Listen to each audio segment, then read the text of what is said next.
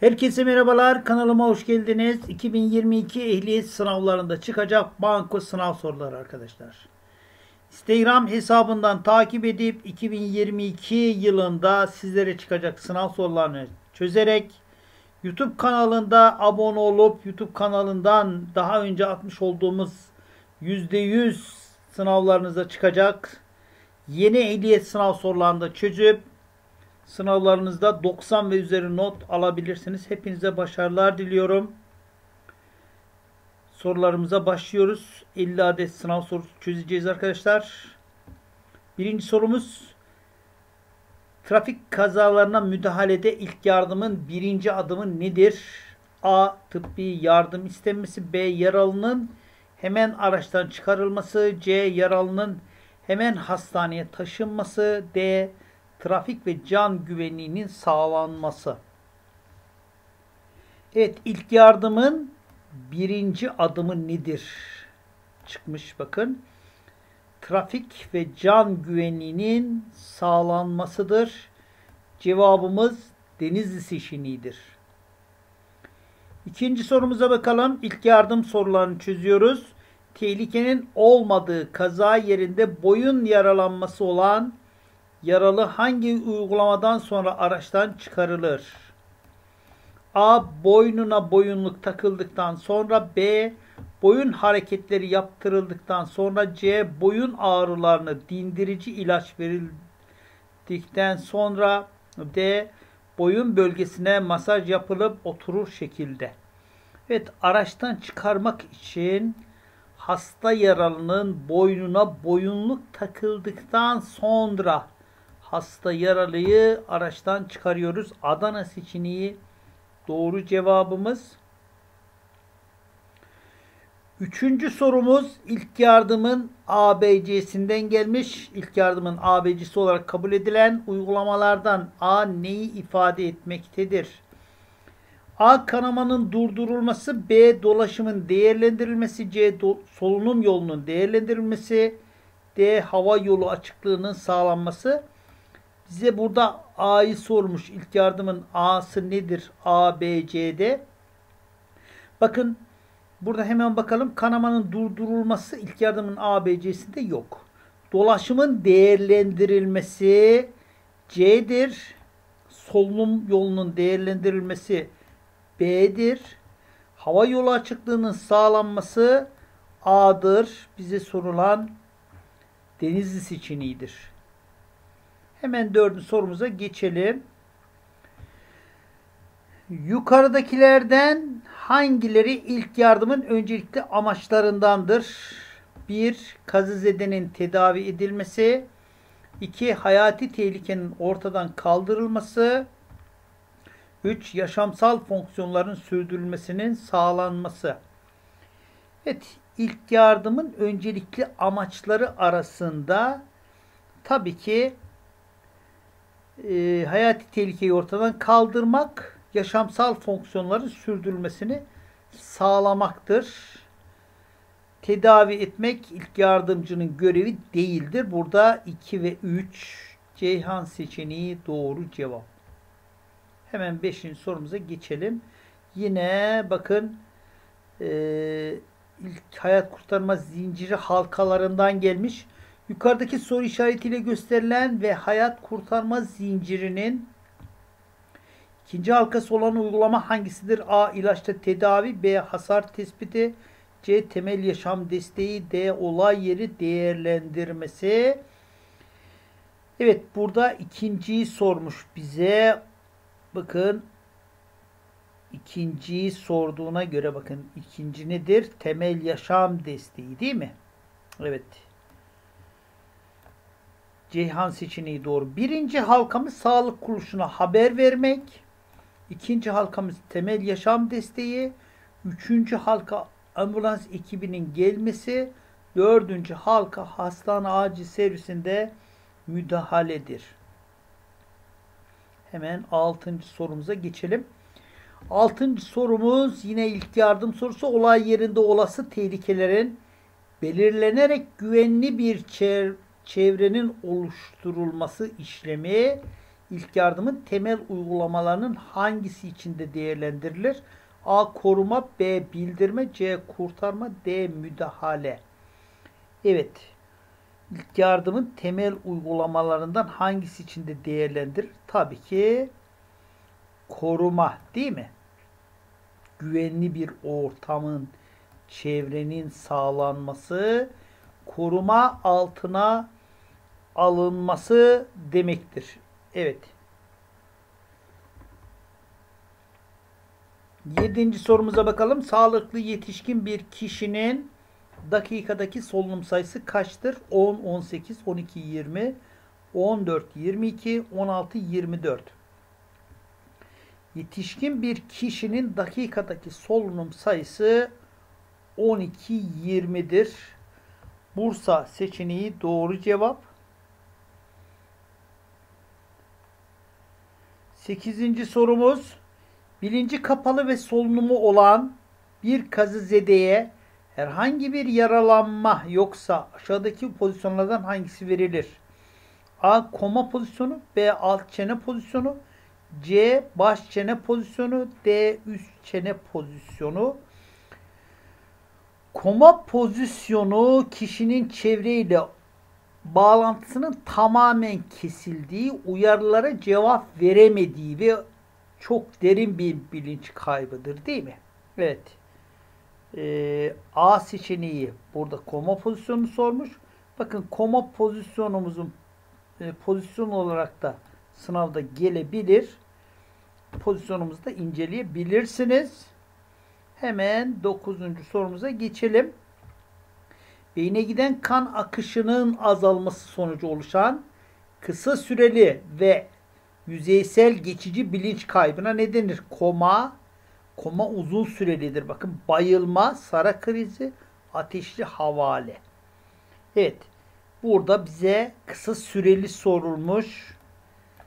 Az önce koma uzun süreliydi. Bakın bayılma kısa sürelidir. Cevap Bursa seçeneğidir. Hemen onun sorumuza geçelim. İlk yardımcı başını kazazidenin göğsüne bakacak şekilde yan çevirerek yüzünü kazazidenin ağzına yaklaştırır. Bakın şekilde olduğu gibi solunum yapıp yapmadığını 10 saniye süreyle değerlendirilir. Bu ifadede boş bırakılan yere aşağıdakilerden hangisi yazılmalıdır? Bak dinle hisset yöntemi, hemlik manevrası, turnike uygulaması, şok pozisyonu. Tabi burada bak, dinle, hisset yapıyor. Evet. Bak, dinle, hisset 10 saniye süreyle baş çene pozisyonu verildikten sonra bak, dinle, hisset yöntemini yapıyoruz. 10 saniye süreyle. Adana seçeneği doğru cevap. 11. sorumuz bakalım. Şok pozisyonunda hastanın ayaklarını yukarı kaldırmamızın yararı nedir? A. Beyine kan gitmesine yardımcı olmak. B. Vücut sıcaklığının artmasına yardımcı olmak. C. Sindirimin düzenli çalışmasını sağlamak. D. Solunum düzenlemesine yardımcı olmak. Şok pozisyonda tabi hastanın ayaklarını yukarı kaldırmamızın esas birinci nedeni beyine kan gitmesine yardımcı olmaktır. Değil mi? Yani Adana seçeneği doğru cevap. 12. soru uyuşturucu veya keyif verici maddeler ile alkollü içkilerin kandaki miktarlarının tespit usulleri ve muayene şartlarını belirleyen yönetmelik aşağıdakilerden hangisinin görüşüne uygun olarak hazırlanır? A. Enerji Bakanlığı'nın B. Sağlık Bakanlığı'nın C. Milli Eğitim Bakanlığı'nın D. Adalet Bakanlığı'nın Evet. Alkollü içkiler, alkol geçtiği için burada hangi bakanlık ilgilenir? Tabii ki Sağlık Bakanlığı değil mi? Evet. Bursa seçeneği doğru cevap. 13. sorumuz İlk yardımda öncelik sırasını aşağıdaki sıralamadan hangisi göstermektedir? A. Solunumu duranlar, kalbi duranlar, şoka girenler. B. Kalbi duranlar, şoka girenler, solunumu duranlar. C. Solunumu duranlar, şoka girenler, kalbi duranlar. D. Kalbi duranlar, solunumu duranlar, şoka girenler. Evet. Öncelik sırası öncelikle bakın özellikle nedir? Solunumu duranlardan başlıyoruz değil mi? Daha sonra kalbi duranlar ve şoka girenler sıralaması doğrudur. Adana seçeneği doğru cevap. 14. sorumuz aralıklı yanıp sönen kırmızı ışıkta sürücü ne yapmalıdır? A. Durmadan dikkatli geçmeli. B. Yeşil ışık yanıncaya kadar durmalı. C. Durmalı. Trafik uygunsa devam etmeli. D. Yavaşlayıp yolu kontrol ederek geçmeli. Aralıklı kırmızı ışık arkadaşlar esas yapılması gereken şudur. Öncelikle bakın aralıklı yanıp sönüyorsa bir ışık durmalıdır. İlk yapması gereken bakın durmalıdır ve karşısındaki araca yol vererek yoluna devam etmeli. Evet durmalı trafik uygunsa devam etmeli seçeneği doğru cevap. 15. sorumuza geçelim. Yine ışıklarla ilgili bir soru. Şekildeki kavşakta ileriye yeşil. İleriye yanan bakın yeşil hangisidir? 2 numara. Sola kırmızı, sola 1 numara. Sağ yeşil. Bakın sağda yeşil yanıyor. Buna göre hangi numaralı şeritteki araçlar yollarına devam edebilir? Tabii ki 2 ve 3 nolu araçların bulundukları sürücüler yollarına devam edebilir. Denizli seçeneği doğru cevap. Hemen 16'ya geçelim. 16 kavşaklarla ilgili sorulan bir soru sık sık sınavda geliyor. Şekildeki gibi bir kavşakta karşılaşan araçların geçiş hakkı sıralaması nasıl olmalıdır? Bu tip sorularda hemen geçiş üstünlüğüne sahip araç var mı yok mu ona bakıyoruz. İtfaiye, polis, otobüs ve otomobil var. Bakın otomobil tali yolda, otobüs ana yolda. Evet, diğer araçların işaretleri önemli değil. Geçiş sıralaması önemlidir. Birinci sırada bakın itfaiye geçer. Daha sonra polis geçer. Ve sonra otobüs ana yolda olduğu için geçer. Daha sonra da 4 nolu araç sürücüsü yani 1, 2, 3, 4 şeklinde Öncelikle itfaiyenin olduğu. Bakın diğer seçenekleri eleyin hemen. Sonra 1, 2, 1, 2, 3 ve 4. Yani Adana seçeneği doğru cevap. Burada şuna dikkat edelim arkadaşlar. Bakın e, ana yol, tali yol işaretlerinin olduğu e, işaretlerin olduğu şeritlere, kavşaklara dikkat edelim. Evet. 17. sorumuz hemen gelsin. Servis freni bozuk araçları çeken araçlar saatte kaç kilometrenin üstünde bir hızla sürülemezler, süremezler. Servis freni bozuk aracı çeken araçlar 15'in üzerinde sürülemezler. Karayollarında en düşük hız sınırı 15'tir. Bildiğiniz gibi burada Adana seçeneği doğru cevap. Buraya da e, seçenekleri işaretlersek evet doğru cevabımız Adana seçeneğidir. Hemen 18. sorumuza geçelim. Taşıt yolu üzerine çizilen şekildeki çizgilerin anlamı nedir? A. Yavaşlama çizgisi B. Taralı alana girilmez. C. Bölünmüş yol başlangıcı. D. Taralı alan içine park edilebilir. Evet burada şekilde de gördüğümüz gibi taralı alana girilmez. Bursa seçeneği doğru cevap. 19. sorumuza geçelim.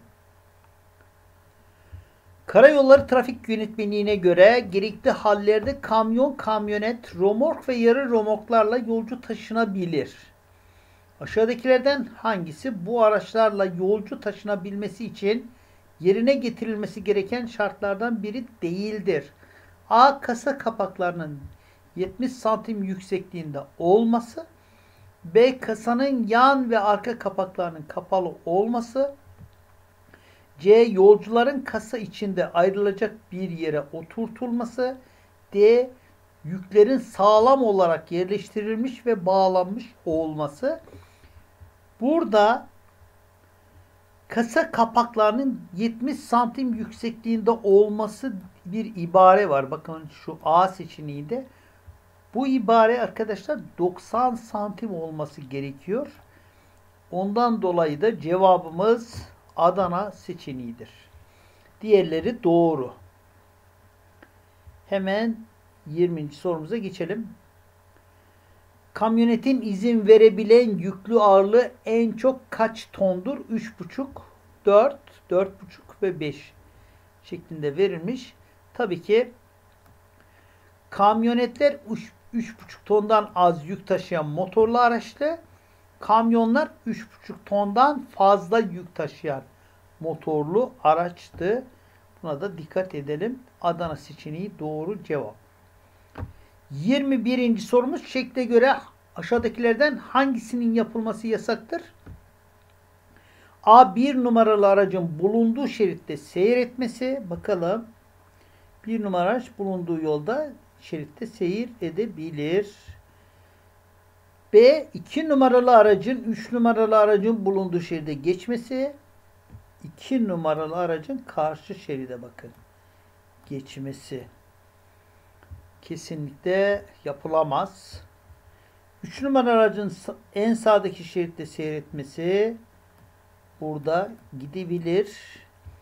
4 numaralı aracın 3 numaralı aracın bulunduğu şeride geçmesi yani şu aracın 3'ün bulunduğu şeride geçmesi diyor. Geçer. Ama burada dikkat ederseniz 2 nolu araç 3 nolu şeridi bulunduğu aracın e, bulunduğu şeride geçemez. Asli kusur işlemiş olur. Evet hemen 22. sorumuza geçelim. Burada Bursa seçeneği doğru cevap. Lastik hava basınçlarının düşük olması, araçta yapılması gerekli bakım ve ayarların ihmal edilmesi, tavsiye edilen lastik tip ve ebatlarından başka lastik kullanılması, verilenlere göre aşağıdakilerden hangisinin gerçekleşmesi beklenir? A. Çevre kirliliğinin azalması, B. Sürüş konforunun artması, C. Aracın fazla yakıt yakması, D. Trafik yoğunluğunun azalması. Evet. E, ge, araçta yapılması gerekli bakım onarımın yapılmaması, tavsiye edilen lastik tip ve ebatlarında kullanılmaması tabii ki nedir? Fazla yakıt yakmayı bize gösteriyor. Evet cevabımız Ceyhan seçeneği doğrudur. Hemen 23 gelsin. Şekildeki bir numaralı araç 80 km saat hızla seyrederken önündeki araçla en fazla kaç metre gider? Bakın bir nolu aracımız 80 hızı 80 ile gidiyor. Önündeki araçla arasındaki bize takip mesafesini sormuş. Takip mesafesi takip mesafesi hızın yarısıdır. Yani 80'in yarısı nedir? 40'tır. Burada 40 metre mesafe bırakması gerekiyor. Denizli seçeneği doğru cevap. Aracın 2 saniyede kat ettiği süre yine bize takip mesafesini verir. 88-89 sayılarını arka arkaya saydığımız zaman yine biz takip mesafesine ulaşmış oluyoruz. 24. sorumuz karayolunun genel olarak taşıt trafiğince kullanılan kısmına ne ad verilir? A. Banket B. Terminal C. Hemzemin geçit D. Taşıt yolu kaplama Tabii ki Denizli seçeneği taşıt yolu kaplamadır. Doğru cevap. 25. sorumuz yukarıdakilerden hangileri kazalara yol açan faktörlerdendir? Hemen bakalım. Alkol veya madde bağımlılığı 2. Eğitim eksikliği ve tedbirsizlik 3. Tehlikeye atılmaya hazırlık hazır kişilik yapısı. Evet burada da dikkat ederseniz her üçü de kazalara yol açacak faktörlerdendir. 25. sorumuz. 26. soru şekildeki tehlike uyarı işaretini gören sürücü aşağıdakilerden hangisini yapmalıdır? A. Banketten gitmeli. B. Takip mesafesini artırmalı. C. Hızını artırarak öndeki aracı geçmeli. D acil uyarı ışıklarını yakarak seyretmeli. Burada gevşek malzemeli zemin işaretimiz var. Bakın tehlike uyarı işaretlerinden değil. Tehlike, trafik tehlike uyarı işaretleri. Tanzim işaretleri, yuvarlak tehlike uyarı işaretleri, üçgendi bildiğiniz gibi. Tehlike uyarı işaretlerinde, tehlike uyarı işaretlerinde hız azaltılır, takip mesafesi artırılır Evet burada Bursa seçeneği doğru cevap. Hemen 27. sorumuza geçelim. Aşağıdaki levhalardan hangisi trafik tanzim işareti değildir? Trafik tanzim. Tanzim demek yuvarlak demektir. Tehlike demek üçgen demektir arkadaşlar. Burada bakın trafik tanzim işareti olmayanı soruyor bize. A seçeneğindeki iki yönlü yol bakın. iki yönlü yolun tehlike uyarı işareti olduğunu yani Adana seçeneği doğru diğerleri B, C, D trafik tanzim işaretidir. Hemen 28. soruya bakalım. Şekildeki gibi yeterince aydınlatılmamış tünele giriş yapan aracın sürücüsü Aşağıdakilerden hangisini yapmak zorundadır? A. Duraklamak. B. Araç içi ışıkları yakmak. C. Uzağa gösteren ışıkları yakmak. D. Sadece park veya sis ışıklarını yakmak. Yeterince aydınlatılmamış tünele giriş yapan araç sürücüsü uzağa gösteren farları yakmak zorundadır. Yani Ceyhan seçeneği doğru cevap. 29. soruyu otoyoldan çıkarken hangi şeridin kullanılması zorunludur? Orta şerit, hızlanma şeridi, tırmanma şeridi, yavaşlama şeridi. Otoyoldan çıkarken yavaşlama şeridini kullanıyoruz. Otoyola girerken hızlanma şeridini kullanıyoruz. Evet. Otoyollarda durmak, duraklamak, park etmek yasaktır. Asgari hız Bakın asgari otoyolda bu da sınav sorusudur. 40'tır. Azami azami hız 120'dir. Evet. Otoyolun diğer adı erişme kontrolü karayoludur arkadaşlar. Bilginiz olsun. Hemen 30. soruya geçelim. Yerleşim birimleri dışındaki karayollarında hangi tür taşıtların öndeki araçla olan takip mesafesi 50 metreden az olmamalıdır. Bakın 50 metreden az olmamalıdır. Otomobil, motosiklet, tehlikeli madde taşıyan taşıt, lastik tekerlekli traktör.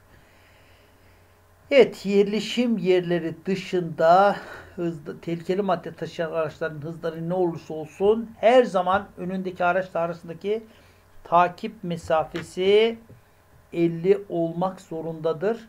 Cevap Ceyhan seçeneğidir. 31.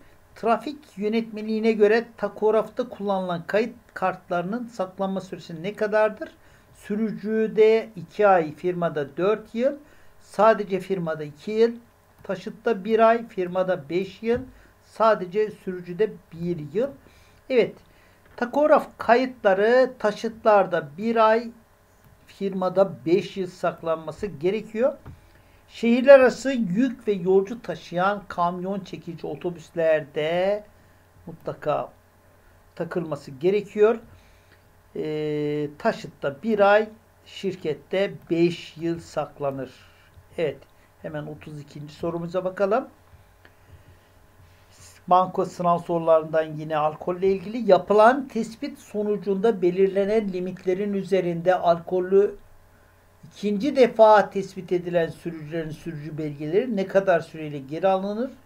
3 ay, 6 ay, 2 yıl, 5 yıl. İkinci defa bakın ikinci defa tespit edilenler 2 yıl. Yani Ceyhan seçeneği doğru cevap. İlk tespitte 6 ay, ikincide 2 yıl, üçüncüde de 5 yıl süreyle ehliyetler geri alınıyor ve trafikten men ediliyor. 33. sorumuza geçebiliriz hemen. Evet kontrolsüz kavşakla ilgili gelen bir soru sık sık sınavlarda geliyor. Banko sorulardan birisi. Şekilde kontrolsüz kavşakta karşılaşan araçların geçiş hakkı sıralamasını sormuşlar. Bakın. 1 2 3 2 1 3 3 1 2 ya da 3 2 1 şeklinde verilmiş. Tabi burada kavşaklarla ilgili sınavda banko sorusu gelir. Bütün sınavlarda soruluyor. Öncelikle püf noktamız, formülümüz şudur. Dönüş yapan araçlar en son geçer. Düz giden araçlar kendi sağındaki araçlara yol vermesi gerekiyor. Burada 2'nin sağında 3 olduğu için en sağda 3 numara yani önce 3 numara geçer daha sonra 2 numara daha sonra da en son dönüş yapan 1 numara 3-2-1'in olduğu seçenek Denizli seçeneğidir. 34. sorumuz aracın gösterge panelinde aşağıdaki ikaz ışıklarından hangisinin yanıyor olması şarj sisteminin çalışmadığını gösterir. Bakın Adana seçeneğinde doğru cevap yani akü şarj sisteminin çalışmadığını gösterge panelinde yandığında derhal araç durdurulması gerektiğini. Burada el freni, Bursa seçeneği el freni, Ceyhan seçeneği balata, Denizli seçeneği de yağ lambasının yandığını gösteriyor. Evet. 35 yakıt içerisinde toz, su, pislik varsa motor nasıl çalışır? A. Yüksek devirde B. Düzensiz tekleyerek C. Zengin karışımla D. Rolantide Tabii ki burada pislik varsa, toz pislik varsa düzensiz tekleyerek çalışır değil mi arkadaşlar? Bursa seçeneği doğru cevap. 36. sorumuza geçelim hemen. Verilen ikaz lambalarından hangilerinin araç gösterge panelinde yanması aracın derhal durdurulmasını ve kontağın kapatılmasını gerektirir. Bir şarj, 2 ABS, 3 yağ lambası. Evet. Ee, burada şarj ve yağ lambası yandığında aracımızı derhal durdurmamız gerekiyor. Ceyhan seçeneği doğru cevap. Yağ göstergesi nin yanması motor yağ basıncının düşük olduğunu, kartede yağ kalmadığını bildiren göstergedir ve derhal durdurulması gerekiyor. Şarj göstergesi de akünün şarj olmadığını bildiren göstergedir ve eğer araçta seyir halinde yanarsa aracımızı hemen derhal her ikisinde de durdurmamız gerekiyor. 37. soru Marşa basılıp motor çalıştığında aracın gösterge panelinde bulunan aşağıdaki ikaz ışıklarından hangisinin sönmesi gerekir? A. Kısa farlar ikaz ışığı. B. Yağ basıncı ikaz ışığı. C. El freni çekili ikaz ışığı. D. Sinyal lambası. Bakın burada da az önceki sorunun devamı. Arkadaşlar burada mutlaka sınavda soru geliyor. Yağ lambası yandığında aracımızı derhal durdurmamız gerekir. 38. sorumuz evet 38 ve 39 mu? Evet. Aşağıdakilerden hangisi 4 zamanlı bir motorun çalışma zamanlarından biri değildir? İş zamanı, marş zamanı, emme zamanı, sıkıştırma zamanı. Dört zamanlı motorların oluşum sıralaması bir emme zamanı, iki sıkıştırma zamanı, üç ateşleme iş zamanı, dört egzoz zamanı. Bakın iş zamanı üçüncü zamandır. Emme zamanı birinci zamandır. Sıkıştırma zamanı ikinci zamandır. Ama marş zamanı dört zamanlı motorların oluşum sıralamalarından birisi değildir. Cevap Bursa seçeneğidir. 40. sorumuza geçelim. Bujinin görevi nedir?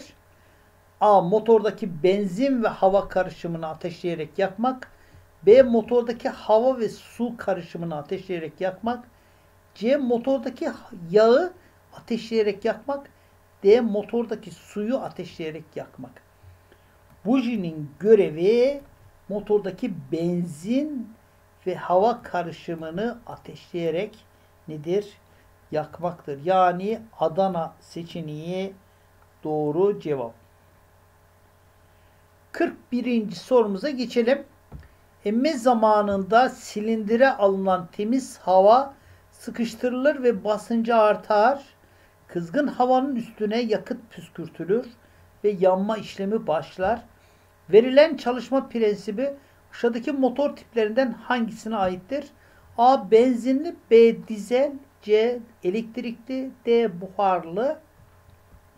Burada kızgın havanın üstüne yakıt püskürtülür dediği için bakın püskürtme hangi araçlarda vardır? Tabi enjektörlü araçlarda yani dizel araçlarda bulunur. Bursa seçeneği doğru cevap. Benzinli araçlarda enjektörlerin yerine bujiler kullanılır. Benzinli araçlar bujiler e, ateşler. Değil mi? Evet.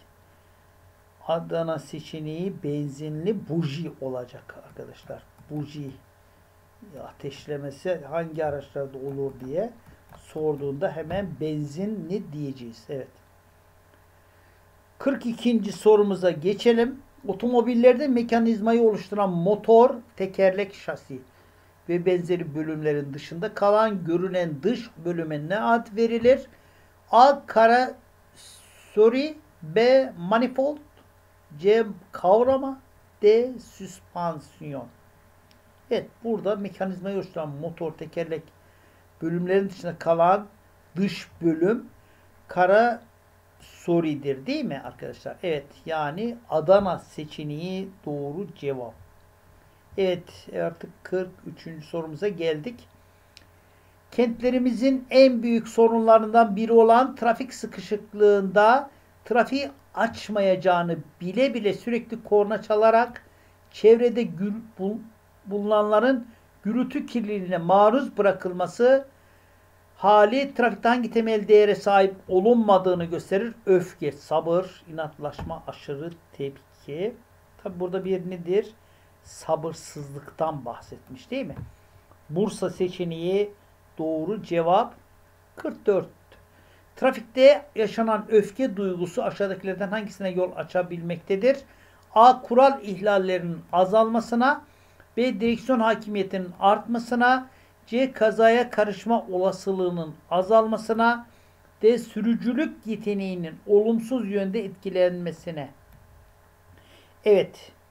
Dikkat edelim. Burada sürücülük yeteneğinin olumsuz yönde etkilenmesi diyor. Bakın olumsuz. Olumsuz yönde etkilenmesi nedir? Öfke duygusuna e, duygusu olumsuz yönde etkiler. Evet Denizli seçeneği doğru cevap. Hemen 45'e bakalım. Bir olay ya da durumda karşımızdaki kişi hakkında herhangi bir yargıda bulunmadan önce kendimizi onun yerine koyarak olayı, durumu onun gibi yaşamamız anlamına gelmektedir. Yukarıda açıklama yapılan trafik adabı açısından da çok ciddi bir öneme sahip olan davranış özelliği hangisidir diyor. Öfke, empati, bastırma, engellenme. Evet tabi burada empati değil mi? Ee, empati kurmak. Evet Bursa seçeneği doğru cevap. 46 geçme yapan araca geçilmekte olan araç sürücüsünün yavaşlayıp kolaylık sağlaması durumu trafikte hangi temel değerle ifade edilir? A. Bencillik B. inatlaşmak C. Diğergamlık D. Sorumsuzluk Evet burada da diğergamlıktır değil mi? Evet. Ceyhan seçeneği doğru cevap. 47. Ailesiyle birlikte yolculuk yapan bir sürücü aracını hız limitlerini aşarak sürdüğünde ailesinin hayatını da tehlikeye atmış olacaktır. Bu sürücü hız ihlalinden kaynaklanan olası bir kazada sevdiklerinin canını riske atmakla trafikte hangi temel değeri yerine getirmemiş olur? Hırçınlık, sorumluluk, bencillik, hoşnutsuzluk. Tabi bakın burada sorumluluğu yerine getirmemiş oluyor değil mi? Evet. Bursa seçeneği doğru cevap. Evet. Adana'ya Ceyhan ve Denizli doğru cevabımız Bursa seçeneğidir. Evet artık son sorulara geliyoruz arkadaşlar. 48. sorumuz. Seyir halindeki sürücünün yaptığı bir hatadan dolayı eliyle veya yüz ifadesiyle diğer sürücülerden özür dilemesi trafikte hangi uslubun kullanıldığına örnek olur? Bencillik, tahammülsüzlük, inatlaşma, beden dili. Tabi eliyle ve yüz ifadesiyle diğer sürücülerin özür dilemesi sürücülerden beden diliyle değil mi? Hoşgörülü, beden dili çok çok önemlidir.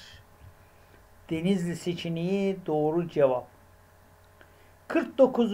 sorumuz karlı havada zincir takmaya çalışan bir sürücünün sorunla bu konuda daha deneyimli ve becerikli diğer bir sürücünün çözüm bulması trafikte hangi temel değere sahip olunduğunu gösterir.